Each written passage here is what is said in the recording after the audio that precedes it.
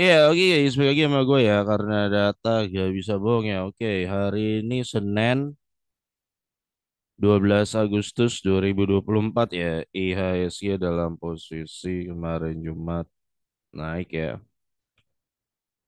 Oke, kita lihat aja kelanjutannya nanti gimana jam 9. Ya, hari ini gue pengen bahas laporan keuangannya Q2 2024-nya PTPS, CNMA, Sinema, Jaya, ya Terus TB ya, TB yang mau bagi dividen ya. Jaya juga ya sama Era. Ya, Era. Oke. Oke, yang pertama kita bahkan bahas ini Jaya ya. Jaya ini Jaya. Ya ini dia mau bagi dividen guys ya. Eh, interimnya 5 nih ya. Eh, ini interim apa final ya? Ya ini interim ya. Interim benar-benar. Ini interim 5 ya. Jadi tapi tahun lalu dia nggak ada final ya, cuman interim doang ya. Eh, oh ada dua deh. 7 sama 11. Oh ya dia nggak ada final ya tahun lalu ya. Cuman inter ya gua nggak tahu gimana cara baginya nih ya. Pokoknya eh, dia nanti mau bagi interim dan next date-nya tanggal 19. Jadi lu beli sebelum tanggal 19 kalau mau dapat ya. Jaya. Jaya ini kalau nggak salah satu temenan sama PPGL deh dan dua-duanya udah mulai rutin sih bagi dividen ya. Gue lihat bermotor, ah, bidang angkutan usaha bermotor barang umum jasa eh, transportasi.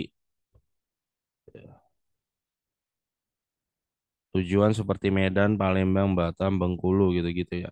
Oke, Pontianak. PT Prima Globalindo 5 ini kayak PPGL ya, John. PPGL. Ya. Terus Darmawan sudah 25 masyarakat 40%. Lembar saham cuma 798 juta ya. Jadi masyarakat mungkin sekitar ada 300 juta lembar. Masyarakat Dia DR-nya kecil 57% ya. Dan transaksi harian 2,5 miliar. Ya, lumayan gede sih transaksinya. Ya, sedang lah. Jadi lo tahu nih likuiditasnya 2,5 miliar sehari. DR-nya 57% ya. DR-nya lumayan kecil ya. Belum lama IPO. Udah agak lama sih ya. 2018-an. Petrobo dan sekarang ini. Oke. Kalau dari dividen history ya Jaya tuh kita lihat.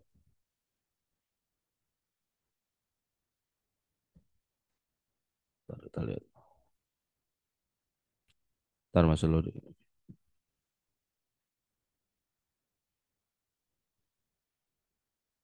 ya ini historinya dividennya kita bisa lihat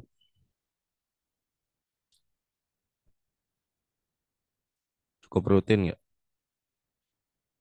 2020 bagi 2021, 2022, 23, 24 ya. Jadi dari 2020 sih udah rutin ya, udah 4 tahun, 5 tahun ini Jaya ini udah cukup rutin bagi dividen. Jadi ya mungkin bisa jadi eh, bisa mulai lu bidik mungkin ya. Tapi lihat harganya juga. Harga warasnya dia untuk saat ini ya. Kalau dari EPS sih kali 10 ya. Memang kalau dari EPS kesannya RP 140 baru mahal ya. Tapi karena dia kemarin bagi dividen cuma 5 gitu ya mentok-mentok ya. Sekarang kinerja juga lagi agak ngedrop dikit. Eh naik dikit sih ya. Paling dia bagi 5 lagi sih kelihatan John. Ya. Paling aman sih di sini ya John. Paling aman menurut gue 50 sampai 100 paling aman ya. Ya, 114 agak mahal dikit ya. Dia sempat ada di 122 ya. Ya, jadi ini John, harga warasnya menurut gua di 50 sampai 100 ya. Paling mahal 140 ke atas untuk saat ini. Jaya. Dan beli barang kemalan, John. Nanti beli barang kemalan lu boncos gitu, susah. Balik modal lama. Ya, ya itu range-nya Jaya ya. Jadi ya lumayan lah kalau gue lihat. Kedua, kita akan masuk ke PTPS ya. PTPS Pulau Subur belum lama IPO, sempat digoreng ya. Jadi ya buat lo yang ngambil di harga segini ya udahlah ya. Gua kalau nggak salah pernah bilang bikin konten waktu di sini udah gue bilang nih ini saham ini lagi digoreng gitu. Kalau nggak salah gue udah bilang ya. Kalau lo masih terus nggak percaya ngambil di pucuk ya udah. Kita kan harus belajar dewasa dong, berani main gorengan, berani ke bantai gitu kan. Tapi dia mulai main. Nah, saham itu akan balik ke harga fundamentalnya, John. Ya. Ingat apa pun itu, kalau setannya udah pergi, yang ngomong goreng itu udah pergi, dia akan balik ke fundamentalnya ya.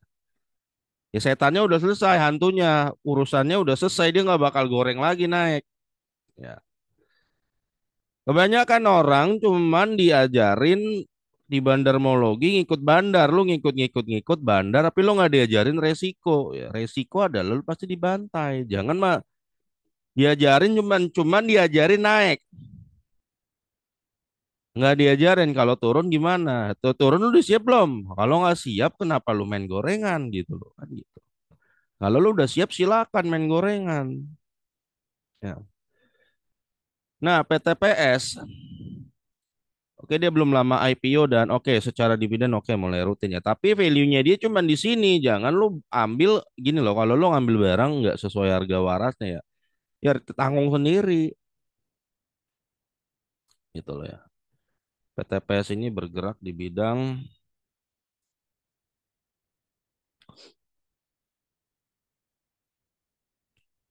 perkebunan buah kelapa sawit ya. PT Sekawan pegang 70 masyarakat 20 persen. Jadi masyarakat ada 400 juta lah ya. PTPS DR-nya 4,74. Ah, DR-nya kecil, oke, positif. Transaksi harian cuma 409 juta lah, jadi lo tahu ya. Nah, harga warasnya berapa PTPS?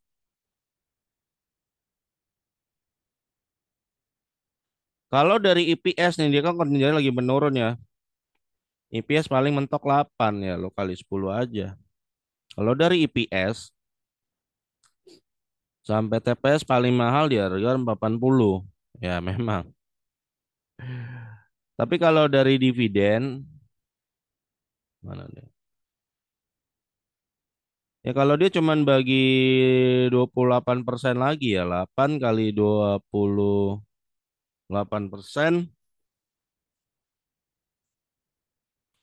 2,2 doang John ya dividen dia. Ya. 2,2 lo dapat dividen John. Ya. Maka ya berarti kalau ya gini aja sekarang gua gua kasih tahu mahalnya gimana John ya. Sekarang kalau kalau dia cuma dividen 2,2 lu dapat di harga 73, lu cuma dapat yield 3%. Mahal nggak mahal? Ya, ya gitu aja cara tahu waras mah apa enggak. Ya apalagi lu yang ngambil di 400. Ini 450 ya. Coba 2,2 dibagi 450. Lalu cuma dapat 0,4 persen ya. Ya udah enjoy aja lu yang ambil 450. Kan lu sendiri yang beli di pucuk. Yang bilang fundamentalis dead ya udah. Gitu. Ya itulah kalau orang selalu percaya fundamental is dead ya lu beli di pucuk ya udah itulah buah dari fundamental is dead sedangkan kalau lu belajar fundamental dengan benar lu tahu kalau dividen cuma 2,2 maka lu kali 10 aja 22 kali 20 ya. Harganya PTP cuma di 22 sampai 44 di atas 44 ini mahal.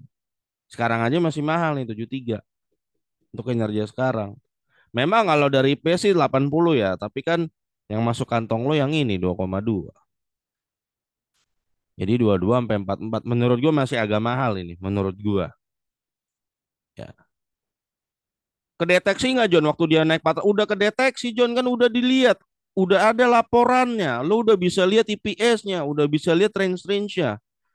Lo pakai IPS aja waktu dia belum bagi dividen baru IPS lu udah tahu nih paling mahal 120. Udah kelihatan kalau dia terbang sampai 400 lu udah tahu. Wah, yang nggak beres nih. Tapi kan tapi kan lu percayanya kan fundamentalis dead kan ya udah nikmatin aja fundamentalis dead. Itulah fundamentalis dead memang. Ya, akhirnya dia balik gak ke harga fundanya ya balik. Balik dong dia pelan-pelan ke harga fundamentalnya kan. Gitu John. Percaya nggak percaya terserah. Ya ini yang gua kasih tahu di mana lo nggak waras ya. Ya harganya cuma di rank segini, lu beli di 400 ya udah. Ya lo nggak bisa nyalain siapa-siapa. Yang kita lah edukasi diri John. Ada orang kan nggak mau diedukasi lagi, ada John di bursa menurut gua udah bener begitu. Padahal dia los-los mulu dibantai bandar nggak udah bener ini kata dia. Ya udah. Eh,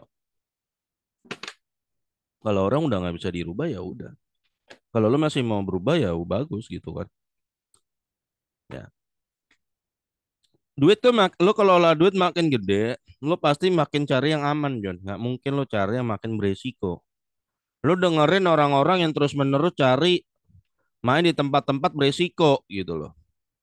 Ya. Itu antara yang cuan itu temennya Bandar, Bandar dan temennya ya, yang ngomong-ngomong atau yang memang udah ya udah sering loss gitu lah. Ya yang ngajak lo main-main di begituan kalau gue sih ogah. Selama lo nggak ikut saham-saham yang dipilih oleh Bandar yang katanya lo Bandar-Bandar itu lo aman. Oke, PTPS lanjut kita ke CNMA ya, Sinema. Ya udah mulai bagi dividen nih ya. Tapi kalau dari bisnis ya CNMA mungkin nggak bakal berkembang banget ya John ya. Jadi kalau lo memang ngincer dividen dong yang paling stuck di situ-situ aja. Kalau lo incer bisnis ini ya. Ya Nusantara, Sejahtera Jaya. Jadi berada di bidang bioskop dan restoran. Jumlah saham beredar 83, PT Harka 71 persen, hasil masyarakat 10 persen, jadi masyarakat ada 8,3 miliar ya. Uh, ini belum lama IPO ya John. PNM. Belum lama IPO. Ya, kita lihat kinerjanya ya.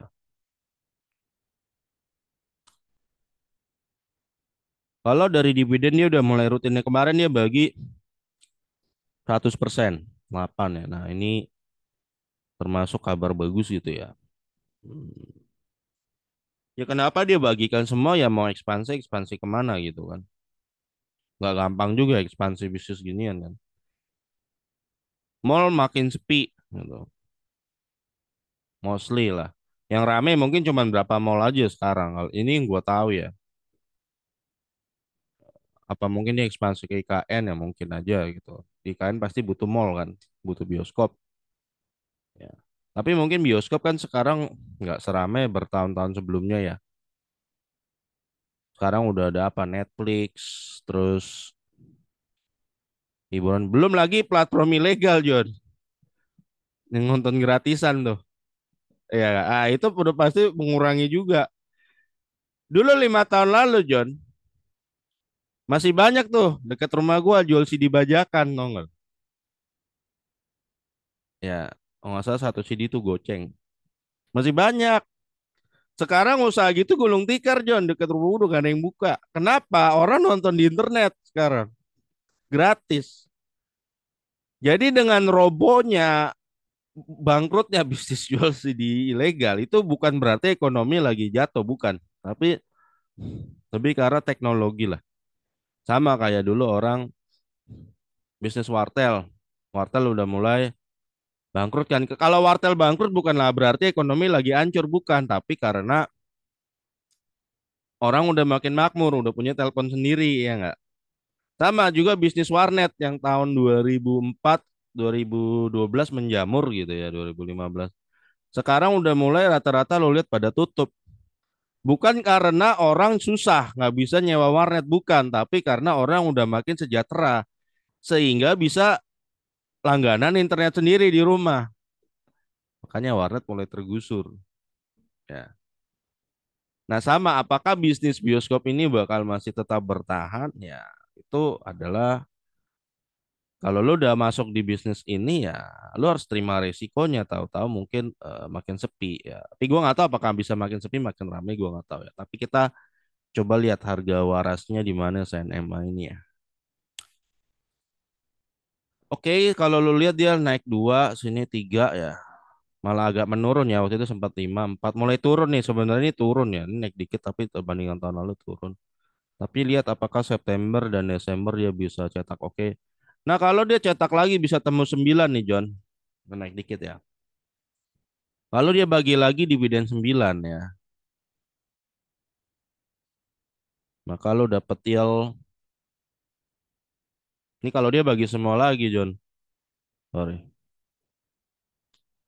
Lo dapet yield 4,1 persen ya. Masih agak mahal sih di harga sekarang ya. Ya, tapi lumayan lah 4 persen lah.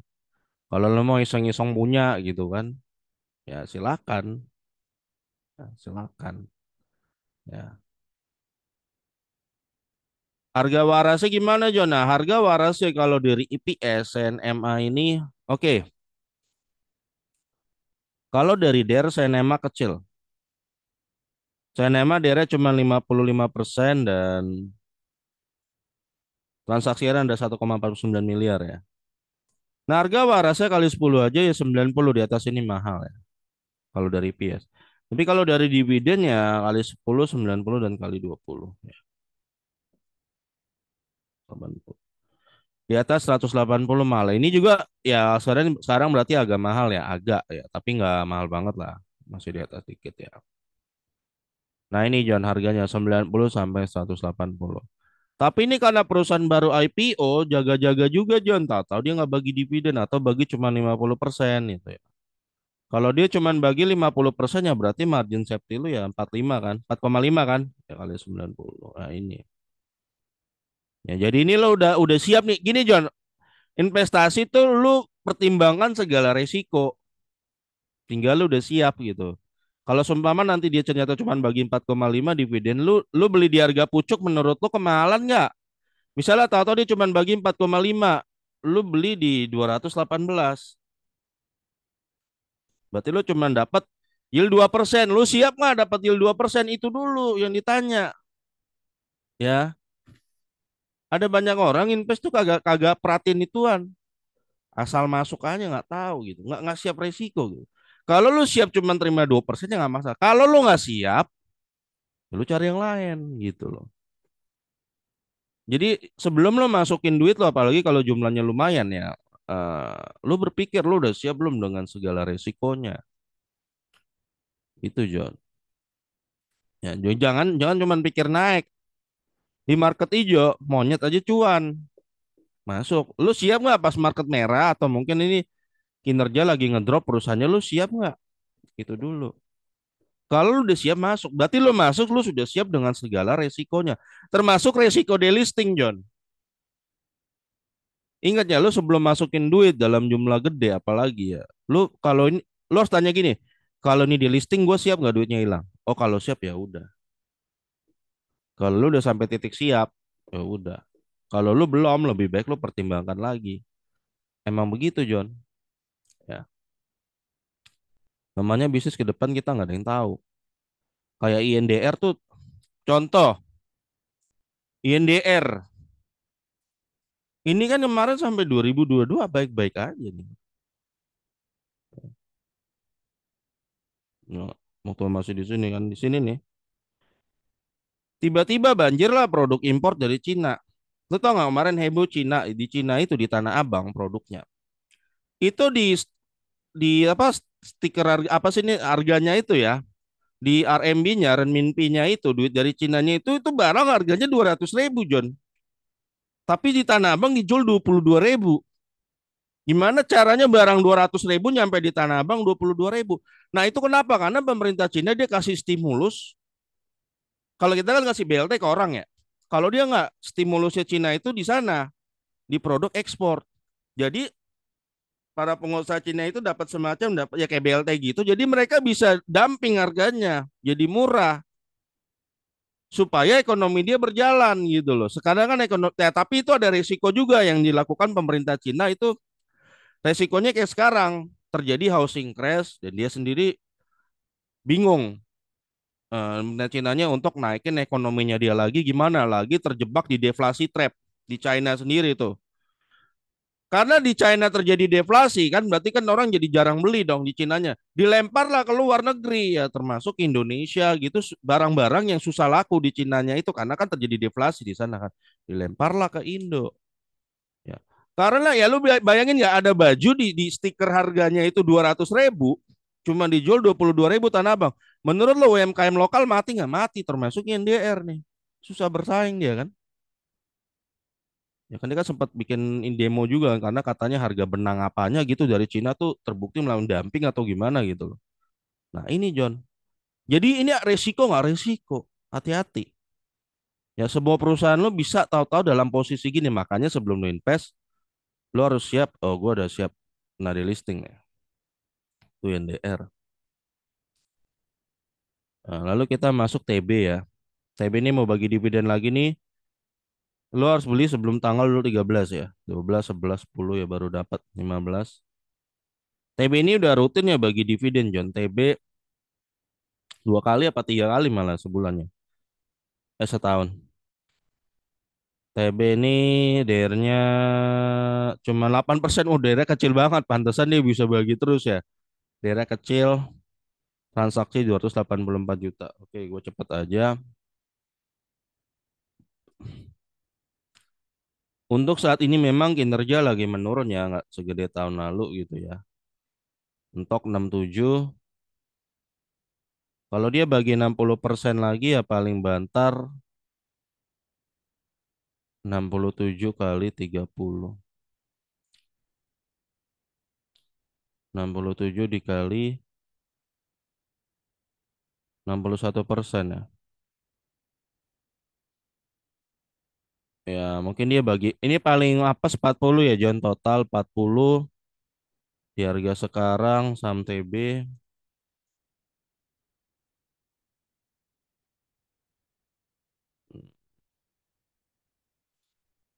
bagi ya 5,5 persen ya lumayan lah. Ya jadi untuk saat ini harga waras TB ya John 400 kali 8 10 20 gini aja. Untuk sementara ya dan dia masih di harganya berarti ya. Ya memang gak ngedrop dikit ya. Jadi ini adalah part dari resiko juga John. Tapi dia at masih bagi lo ya. Ya tinggal lihat aja apa dia bisa mampu bagi lagi di antara 900 ya lihat aja nanti. Ya. Kita nggak tahu. TB. Terus kita masuk era ya. Sama era lu tahu kan yang elektronik kalau di mana-mana tuh ada era itu kan ya era blue, era, era era jaya swasembada gitu ya. Bisnisnya gini HP kan, era phone gitu kan. Ya.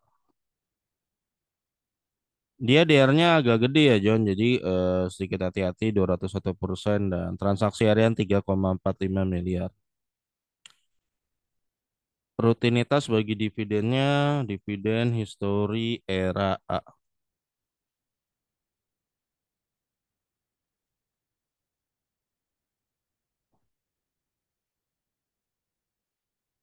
Ya. Kalau lo perhatikan sih dividennya makin kecil ya kalau lihat ya. 2013 bagi 14 bolong 15 16 17 18 19 bagi 20 bolong 21 sampai 24 bagi ya. Tapi ini porsinya makin kecil nih dividennya. Ya. Grafiknya makin turun ya kayaknya sih makin ya. Coba kita lihat.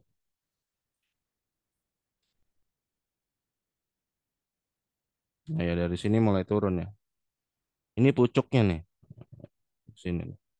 Susah jebolin resist ini ya. Di sini. Eh uh, Lu pernah nggak datang ke era elektronik gitu, era gue pernah ya jadi belanja. Jujur ya John, ini bisnis kalau kalau nggak ada Shopee sama to Tokopedia gitu ya, ini akan keren gitu loh. Ya, tapi tapi karena lu sekarang lihat bisnisnya Topet dan Shopee gitu ya, lu beli elektronik langsung. Jujur jujur aja harga di era lebih mahal, jujur kalau lu pernah datang. Misalnya harga barang Ya gue nggak tahu ya di Shopee kok sama Topet bisa murah gitu. Kayaknya piling gua pabriknya jualan langsung piling gua. Ya, ini gua ngomong jujur-jujuran aja. Kayaknya itu pabrik-pabrik pada jualan langsung di Shopee dan Topet.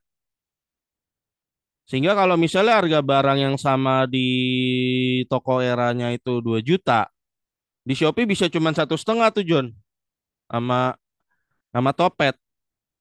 Ya, Terus, oke di era kalau lo tahu era elektronik kan dia biasa ada ada agen-agen kreditnya gitu kan, Eh, kayak home credit ya apa. Lo main kayak di home credit tetap kena lebih mahal. Kalah masih kalah sama Shopee Pay sama GoGo Pay Later. Ya, misalnya, misalnya lo beli produk satu setengah juta gitu ya. Nggak ini gue cuma ngasih prospek lo aja gitu ya, yang realita yang terjadi gitu ya.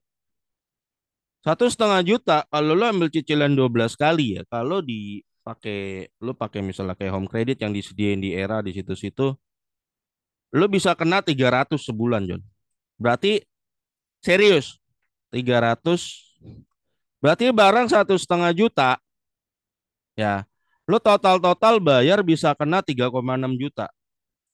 Oh, bisa naik 100% lebih. Kalau lo pakai di dalam eranya ya. Tapi kalau lo pakai Shopee Pay atau GoPay Later, barang satu setengah lo paling kena 180 ribu sebulan. Berarti kali 12 ya lo cuman kena 1,8 ya 2,1 juta lah ya ya 2,2 lah. Ya. Ini gue udah coba hitung sendiri gitu loh. Menurut lu John, nih gue nanya sama lu ya, menurut lu, ya,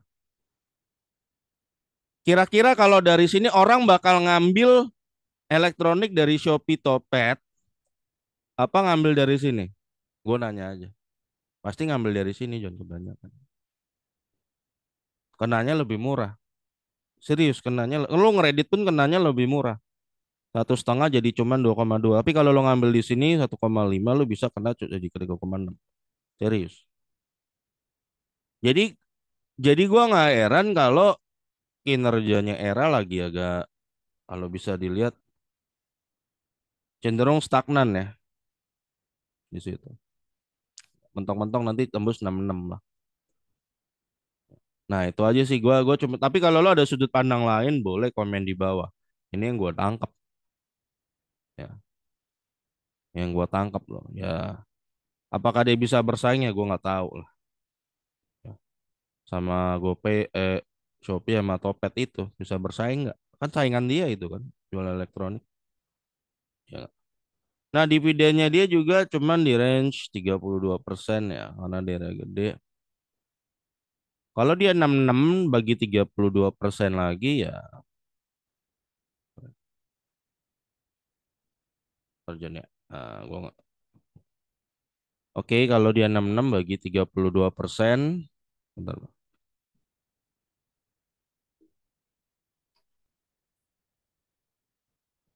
Maka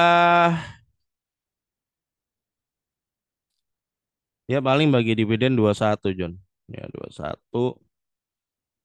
Ya di harga sekarang masih oke sih ya kayaknya ya. Ya 5% lah pas lah ya. Jadi harga warasnya untuk sekarang eh 210 sampai 420 untuk saat ini ya. Berarti ini memang lagi di harganya nih. Ya di harga hampir-hampir pucuk sih. Apakah dia bisa lewatin lagi ya tergantung dari dia. Nah itu John kalau sudut pandang gue untuk era ya. Ya. Ya oke John, semoga bermanfaat John ya. Sampai ketemu lagi video gue berikutnya karena data gak bisa bohong.